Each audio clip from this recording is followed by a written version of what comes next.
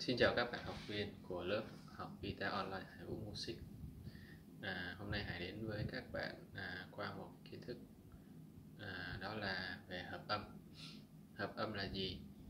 À, các bạn có thể thấy mình hay dùng từ hợp âm, gam đó để mà mình chỉ à, những cái thế tay, à, những cái sự sắp xếp khi chơi đệm hát à, cho ca sĩ hoặc là đệm hát cho chính mình hát vậy hợp âm là gì?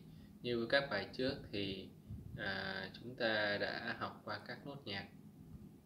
À, học qua nốt nhạc nằm trên 6 giây à, của đàn guitar ở trong ban ăn đầu như vậy thì chúng ta đã biết các à, nốt nhạc là đồ re mi fa son la si do ha.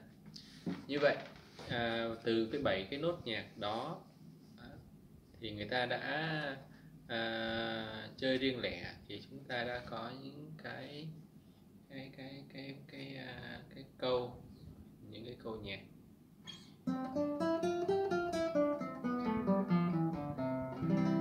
Đó.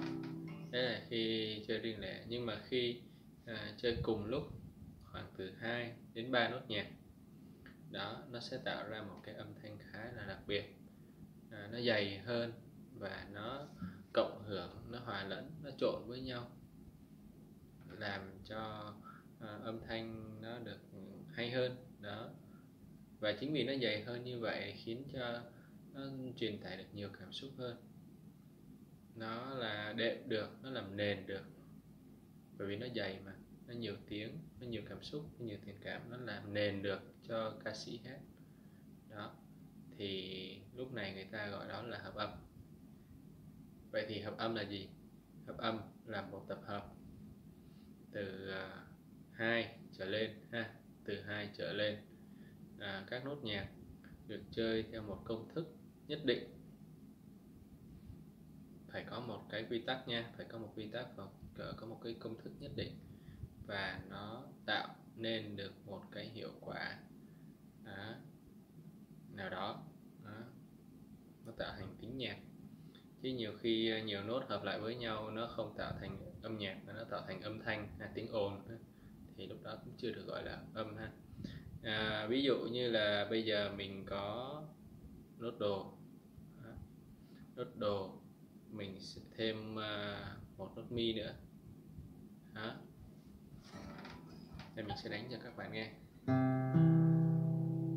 Đó. Sau đó mình sẽ thêm một nốt son nữa.